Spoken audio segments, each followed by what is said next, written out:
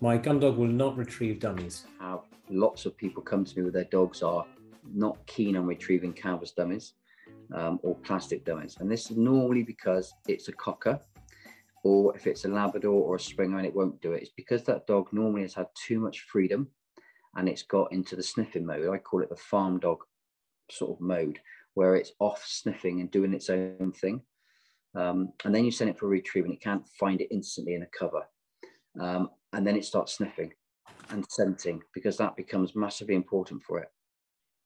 So what I'd like you to do is find something the dog really likes, take it to an area where there's not a great deal of smells around, on more sterile ground like car parks, um, driveways, that sort of thing.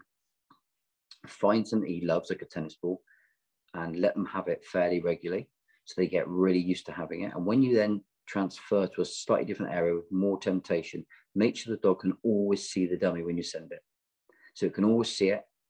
So it hasn't got to hunt for it, hasn't got to smell, hasn't got to lose it and can't find it and then start sniffing. And then as the months go on, the weeks go on, you start to build up and, and you can hide that dummy once they get better at it and focused on it and they want it.